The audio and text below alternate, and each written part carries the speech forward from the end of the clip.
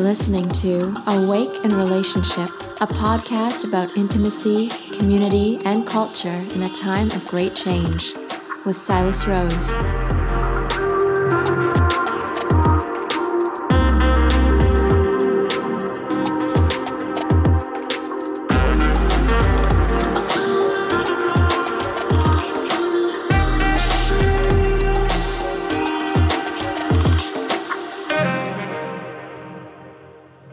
Greetings and uh, welcome to Awake in Relationship. My name is Silas Rose. So, anyone that uh, knows me knows that I love to dance, and I uh, consider myself part of uh, an eclectic community of dancers here on uh, southern Vancouver Island and really kind of the west coast. There's been uh, an explosion of ecstatic dance, or what some might call conscious dance. What makes it conscious really is a intention to create a safe space, or dare I say, sacred space for exploring the uh, inner realms of emotion and leaning into our edge in terms of connecting to others through dance. In this container, I really find it's possible to have a, a paradoxical experience of vulnerability and, and freedom. I really believe it's the perfect medicine for this time when so many of us are struggling with isolation and uh, fear and uncertainty. It's really possible to create community, feel a sense of deep community with others without sharing a word. By simply moving together in rhythm, somehow it's possible to experience a real sense of wholeness and joy, even if it seems the world's falling apart. In this episode of Awake in Relationship, I, I speak with Anne Marie Hogya, an occupational therapist and Five Rhythms dance facilitator, about meeting our vulnerability and taking risks on the dance floor. We also discuss dance as a mindfulness practice and the connection between dance and daily life. So if you uh, have a regular dance practice or just love to move your body to music, please stay tuned.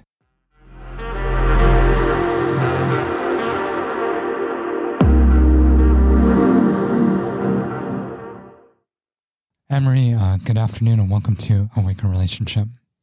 Thank you very much for having me here. So uh, we've had quite the year uh, in terms of dancing with fear. How's how has your practice been?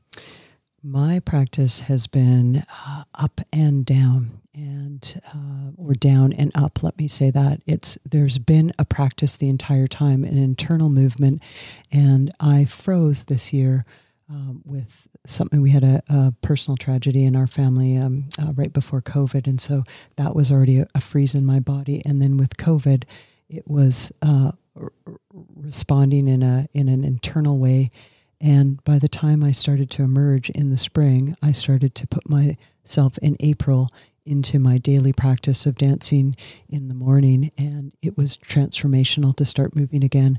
And I just reminded myself of the power of motion and the power of of dance and movement to get me unstuck and moving and back into a creative flow. So perhaps a, a good place to start a conversation is really you know, tell us a little bit about um, some of your early experiences with dance. So, I well, my earliest uh, experience with dance was um, being five years old or four years old, and my mom put me in a, a in a in a, a, a class of a modern dance class, and it was or a, a, kids class where I was a butterfly. So early on, I took to took to movement. That's going way back, but really uh, when I I really connected with dance was in the um, mid '90s, and in the afternoon I was doing a, a therapy for some some um, talking therapy for something I needed to address, and I in the morning of the that was a Thursday afternoon. And the Friday morning I would do a um, a, a, a five person dance class. And it was unrelated. But what I found was the connection of doing the talking and then doing the moving moving in the morning like completely shifted me and i didn't put that together until a little bit a bit through the therapy and and found it was so powerful and then i started to really um, begin my exploration of of movement as a as a tool for healing and transformation mm. and freedom mm-hmm.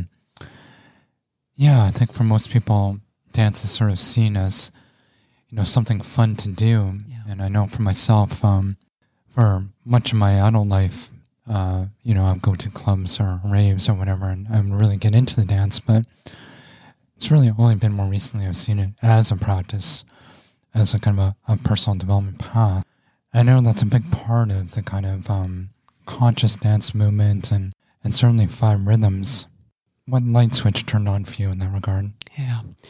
Well, I met Gabrielle Roth, the founder of the Five Rhythms, in 2000, and I, it was it was this experience where I had been turned on by dance and started to um, uh, work on my own with with practicing just on my own and with different teachers and and offering. I was living up in the Yukon at the time and offering classes at the time. I called them passionate free movement, and um, and there was something in me that wanted to go deeper with people, and I knew where my edge was of learning.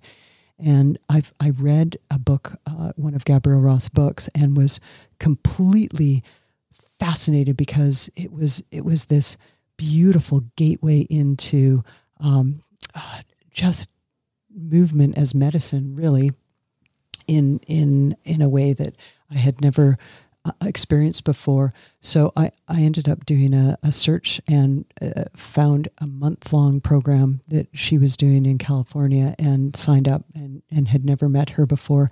And that basically blew me apart because what I saw of her, she was such an artist. She's, she's um, now passed, but she was such a brilliant artist and catalyst, and um, and she would just come in the room, and um, and there were people from all over the world, and it was this this blend of creativity and art and um, healing, and it wasn't it wasn't therapeutic, but it was therapy.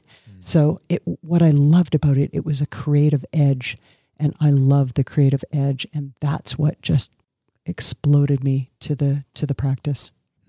So you eventually went on to kind of do the training and uh, become a facilitator, and you're about twenty one. You said twenty one years into this. Uh, well, when I met I met Gabrielle in uh, 2000, and actually started even a little bit before that in 1999, and and and met um, uh, Five Rhythms teacher at the time, and did a workshop. Um, but uh, my training was in 2007 and 2008. So been teaching the practice since then, but have been doing my personal practice since since uh, 1999 2000. Mm.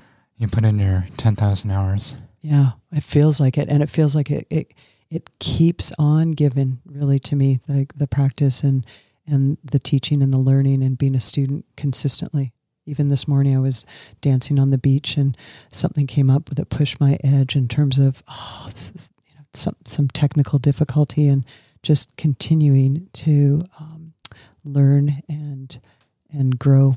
And so much of that growing is, is really about uh, the music, and um, I, I dabble a bit in DJing myself.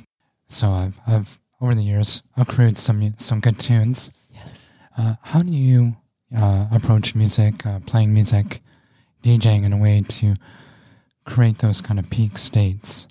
Well, I I definitely choose music that that encourages creativity and movement. It can be from any genre and any any type of music, but it's it's it's picking things that actually really move people. So I go a lot by instinct and intuition, the feel of a music, uh, a piece, and when I'm listening to it, it's like how does it how does it really grab me?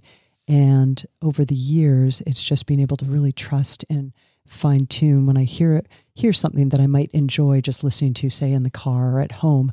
I won't necessarily use that to uh, to use in a class. So it's really trusting my instinct and finding something that's going to evoke something. It could evoke emotion, a range of emotion. It could evoke something that that energizes. So I categorize my music in a certain way. So it might be um, energy or tenderness or passion. So it depends on where I'm going and, and where I want to maybe take people in a particular class or workshop.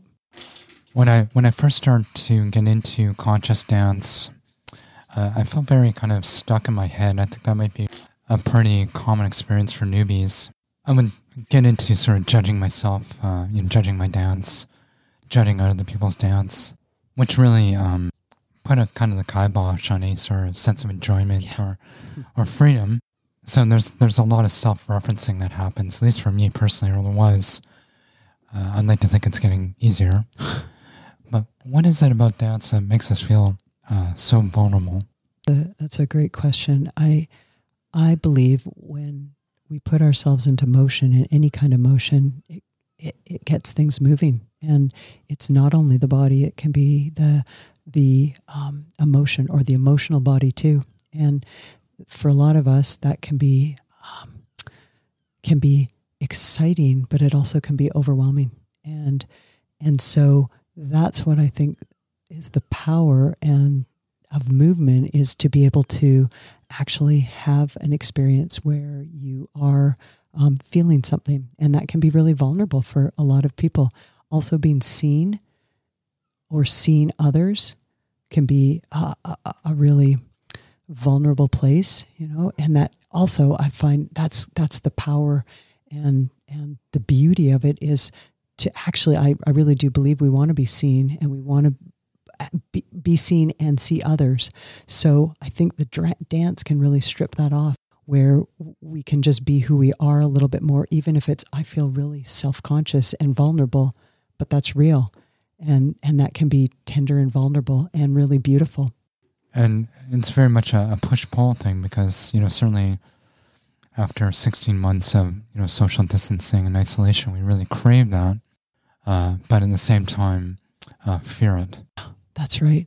And so, what I find is also my work as an occupational therapist, and uh, I, I work um, basically out in the community with people, and and it's it is it's that it's that which I think is sort of an interface with dance too, is that like any of us, whether we're in our homes or on the dance floor, it is this vulnerable of, of coming out and and coming back in and and being seen again. So that's that's really similar to what has been happening with COVID. When I go see people in their houses, they might be shut up there and haven't been out and to go to the grocery store. That's scary for them. Other people, it's like uh, uh being on a dance floor is scary to get back in, or it's exciting. So there can be this push pull and vulnerability and open and close in any parts of our life. As a facilitator, uh, what, what, what are some of the intangible qualities of the space that you create that, that enables that sense of safety where people can explore movement and, and connection? I find that just holding space, I, I, I really feel in a sense, maybe it sounds a bit strange, but there's sort of like an energetic holding, and not in a in a strange way, but it's being able to see and and and know who's in the space. So I, I really pay particular attention to that. I think also the use of uh, uh as a as a facilitator, and I think you know just just all all facets of my life. I believe in in welcoming people and and being inclusive, and so I I feel like that really sets a stage in terms of um, giving people permission to be who they are and welcoming them and to normalize um, what the experience is. Because just like someone coming in for the first time, and I may have danced for a long time, I still have fears and get stuck and and get in my head. And I think to be able to present that and and share that and and uh, encourage people sets a stage for safety. And when I mean safety, it still can be very scary for people and I can't control what happens on the inside, but I can hold a container to um, to to be able to go, hey, I see you. I'm watching. If anything um, happens that you can't handle, I can be there to at least witness and support and facilitate if need be. You know, if someone's feeling like, oh, that emotionally um, caught me or something happened or I'm feeling frozen, you know, if I see something, then I may even give some cues for that one person in the room and everyone else benefits and that person doesn't even know, but it's being able to to just watch and and and follow sort of with my instinct and in the present moment. Can you describe a what a typical kind of class or session might look like? So I would play music, generally the whole time. Right now, I'm doing some some uh, series of sessions on the beach. Uh, so and it's to headsets because that's the, the right now the adaptation for for COVID. But um, but whether it's in inside or outside, I'll be playing music that I've that I've mixed, um, or I'm, I might mix live, or I'll uh, pre-mix. Um, in the case of being outside right now, so I'll have music playing I'll have some prompts for people. Sometimes I'll stop a class and just and just give maybe a theme or something that that we'll be working on. And um, generally, in a in an hour to two hour class, that's what will happen, and we'll go through a wave of music, which means we'll rise up and then we'll come back down, and then at the end there'll be some quiet, and maybe there'll be a, a, a little bit of uh, check in at the end. But that's generally what'll happen. What will happen in a class. So people will have a facilitated experience, but also have this real freedom to to dance um, the way they want. What do, what do you think are some of the, the common fears that uh, people who show up, or maybe it's not even just fears, like what, what do people come in the door with that's a consistent theme right now that, that they're trying to work on through dance? That would be definitely personal for everybody, but some of the common things, and I can even talk with from personal experience because it's my own life journey. Is um, especially earlier on, of some people have uh, um, a you know, it can be a struggle to be in in a group. So sometimes it's that self consciousness of being in a group, uh, being seen, being you know that fear of being judged, the fear of not looking, you know, dancing in a certain way, or they look across and see someone say dancing in a certain um, capacity or or what they think is uh, uh, like they're a good dancer and then and then they may not feel that themselves. And i'm really clear on um, it doesn't matter how much people move everyone's a dancer and it's a personal journey and there can be so much going on when there's a, a, an outward lack of movement. So those are some of the common pieces. I think there's also the place of people coming in and and just not knowing like i don't know what this is going to be like and i, I don't know what's going to happen so there can be just that general which which happens in lots of times in life you know where where they we take brave steps to do something that we feel would we're drawn to and we're just sort of that fear of the unknown of i don't know what this is going to be like and maybe i won't like it mm. and that's fair enough and but that's but that's that's what people can come with. And also, just generally, people can, just like any of us, because it's a moving field and we're not trying to put on masks, you know, it's like we're we're actually stripping down to to just get in our bodies and and move with what's real. Sometimes people come in with the day, or I know people will be dealing with um, people in their lives who are dying or or um, going through conflict in in their personal life, and they'll come in, you know, in a variety of states, and and there's permission to just be who they are in the space and and bring that with. How how do you manage your own sort of expectations, judgments, and fears oh. when you're facilitating? Oh yeah, I handle it by just being with it in the moment. It's a perfect example. This morning, something came up. As I said, there were some technical difficulties, uh, and it was so beautiful to just still be with that and and go, okay, here it is. I trust my instinct a lot, so I just go, okay, you know, I'm going to do it. I I need to do to sort this out. But I also my particular style and way is to be really honest about that. So I'll say, hey, we've got some technical difficulties, or look at this, this, this happened. And I'll be really honest with that. And I, I, I find the process of revealing, number one, it normalizes it for others. It gives permission for not getting it right. And I'm doing the little quotation marks as I do that, not getting it right. And it also um, it also just gives me that freedom to go oh okay that's that in the moment and let's let's get back in. So that's what comes up. I also find how i manage is i really at this point along my practice and in, in life i i really do things to take care of myself and ground myself and in terms of you know um, my uh, putting myself in motion. So so it could be if i'm if i'm scared or frozen or something comes up, then I actually start dancing, you know, and it could be right in that moment. And then I get myself unstuck. And sometimes I'll say, I'm just, you know, I can't think of the right word. I'm going to, I'm just going to move here and I'm going to drop that. So there's that honesty, that putting myself in motion and also just taking care of myself and trusting, trusting my instinct. I've definitely been in the kind of leadership capacity in di- different settings, you know, with uh, facilitation or teaching.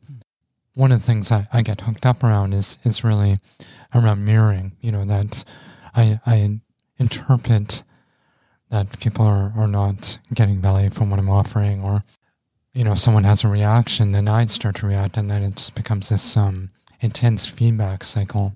That can happen regularly, and I, I find where, especially in movement, where I'm looking out and someone may not be moving. Someone may be lying down and I'm I'm facilitating something where where it can be completely different than that. And so I also will go through things in my head of like, you know, just trusting, again, trusting that that particular person has their particular process. And I'll, and I'll sometimes, um, again, just for the group, will say, it doesn't matter what this looks like, you know, and so I'll, I'll, I'll work with that.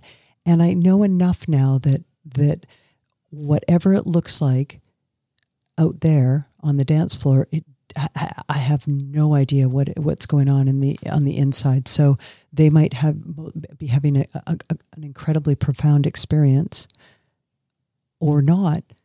But it's not for me to judge that and to interpret that because when I do that, I find that then I'm I'm I'm I'm out of my out of sort of out of my body, and so then I just try to come back in and go how can I come right back here and again go back to the practice, go back to my breath, go back to my body, and get back into that piece of trusting, trusting, and also not, you know, trying to be in this place of a little bit less attachment to what the outcome is and just be of service, really. Mm-hmm. Uh, like come back to that that I'm here to be of service and if if people are moving then then that's the main thing whether it's internal or external. It seems like there's there's kind of a, a, mutual softening or opening that's happening. One of the things I really appreciate about your classes is that you, you take a lot of risks where you're encouraging people to lean into their edge, whatever that might be for them. What do you hope that people will discover on the other side of that edge? I see life is is this opportunity and, and especially in the five rhythms practice to be in relationship with ourselves, with the other, with the group, and in movement, specifically when we get on the dance floor, there's this beautiful opportunity to keep learning. You know, some people don't like being with themselves. Some people don't like being with others, or that scares them when I say don't like. It can be that that can be really scary. Some people can like or dislike being in a group. So I think those pieces and and if people me encouraging people to take brave steps really can help I think just give information and and support people in other parts of their lives taking brave steps into into relationship with others and themselves or in the group. Let's talk a little bit more about that. Do you see that you know obviously with your own practice, but also with people you work with? Is there this uh, crossover from what is explored on the dance floor and what people encounter in daily life? Absolutely, I I I see the I see the dance floor as, I mean, real life, but what we come in with, and if we can sometimes break free of things and and and move things around, it really influences other parts of uh, of our life. And and when I'm stuck in other parts of my life, that can come into the dance floor too. This has been my whole journey with dance, my whole, two decades plus is that I've seen myself shift and change so much. It doesn't, it's not that I'm better than I was before. It's more that there's more more revealing of who who I am as an essence and confidence and um, and freedom in being who I am. And I find that that that's what happens on the dance floor is that there's a crossover when we take those steps and when I can, you know, through humor and through um, openness and through just being authentic and real myself, if I can encourage people to do that, which I do in all parts of my personal life and personal practice, my professional practice, I'm assisting people in taking steps taking risky steps in a low risk situation because really going into the dance floor is low risk. It is really low risk, although internally it can feel very dangerous and high risk. So in life and on the dance floor, I'm encouraging people to take low risk situations that might feel risky and it builds confidence and competence in other parts of their lives. We both uh, practice mindfulness meditation. How has that informed your dance? I see them being beautifully, beautifully complementary, like really powerfully complementary. What I see is is dance being a moving meditation, this practice being a moving meditation and a dance. Whereas when I'm sitting, there's so much moving inside, and it's me actually moving with that sitting still like just being aware and sitting with with all say my emotions and my racing thoughts and and my wanting to to move or feeling anxiety in my in my um, abdomen when i'm sitting it helps me tolerate being human more and more. Helps me tolerate my feelings. When i'm dancing it helps me tolerate being human and even celebrating being human more and more. So i see them as really complementary. I also find that interface of of the stillness, not necessarily that meditation can be stillness, but I can be still with things that are going on and be grounded a lot more in life. And that influences when things come up on the dance floor or when I'm teaching and holding space, as we talked about earlier, me looking out and maybe something happens in terms of my technical, I can hold I can hold that that distress, even though I might feel distressed about it, I can hold my ground and and and and witness myself and continue moving forward without freezing. We're kind of uh, 16 months into this COVID journey, and you know, with Delta, it really just kind of seems endless. That uh, we don't know how long we're going to be in this kind of limbo state, and certainly that's put the kibosh on many dance opportunities, unfortunately. And I know that you are adapting. How, how do you see dance helping uh, us get through this pandemic? Well, in the beginning here, I, I haven't transitioned to being online like a lot of my colleagues. As I said, we had a we had a um, something happen in our family, and that was that was my focus. Uh, and I've seen so many people adapt and, and change, and, and that's been fantastic. So people have been able to to continue to move. Uh, so I think that's one way that things have shifted. It, it has really opened up the ways that the creative ways that we can connect and and move, uh, as well as now shifting to the outdoors, like myself and um, a lot of colleagues, especially in the Victoria area. And I think that is a huge potential. I so when I say that, there's headsets, headphones, and you can hear the you can hear the music through the headphones and you can hear the facilitator speaking. So it's this amazingly intimate experience but someone can be like 300 meters like a, such a far range down having their own experience and they can still hear. And and you're very much immersed in in a natural environment. Yes outside yeah. absolutely you don't have to do it outside but but a lot of us have been doing it outside so so it brings a a completely different element. Yesterday, I had rain for the first time. It's been it's been uh, hot and sunny, not so helpful for our pr- province of British Columbia with forest fires. But it has been. Um, it was raining yesterday, and at first I was like, "Oh, rain! what are we going to do here?" And it was fantastic. It was we we got to be in the elements, uh, dancing. It was it was it was beautiful. So I think there's a lot of ways at least for me, I can only speak um, personally here. I'm now that there's more fluidity and, and creativity coming out now that I put myself into into practice. I think there's a lot of opportunities to just get really creative and, and support people in continuing to heal, thrive, expand, and connect with themselves, with others, and and ultimately, if if people want, is to to um, be of service in the world, like just by by getting back into their own bodies. That's probably a, a great place to end our conversation. Thank you so much, Anne-Marie. Yeah, it's been such a pleasure to be here. I, I mean this. How can uh, people learn more about you and your work? I do have a website, and it is uh, annemariehogya.com. And uh, last name is spelled H O G Y A, Hungarian Gypsy.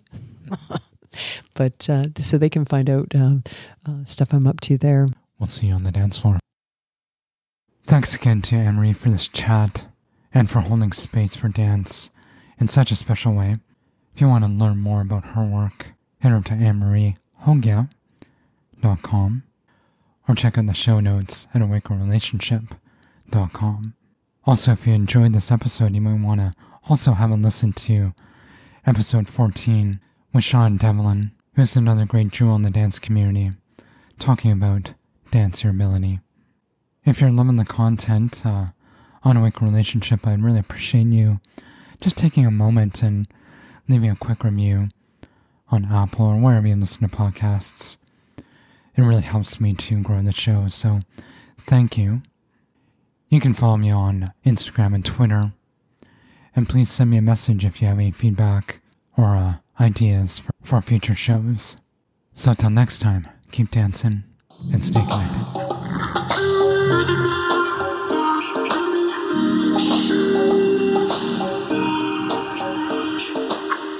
Thanks for tuning in to this episode of Awake in Relationship. If you liked what you heard, please click subscribe to get the latest show delivered fresh to your device or sign up for our newsletter at awakeinrelationship.com. Sharing is caring.